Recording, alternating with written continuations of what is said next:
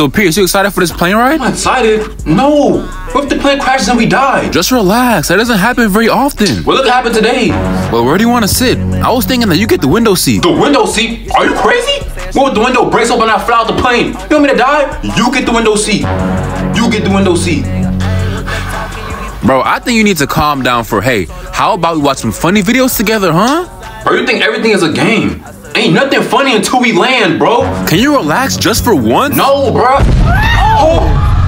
What was that? Attention, all passengers, we are experiencing turbulence. Please do not be alarmed. It was only a little turbulence. Just relax. A little?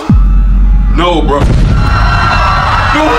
No. Attention, all passengers, we are so sorry for that turbulence. Rest assured, it won't happen again. We're truly sorry. I can't die here. I have too much to live for. Oh! This is my last plane ride, bro. I stand.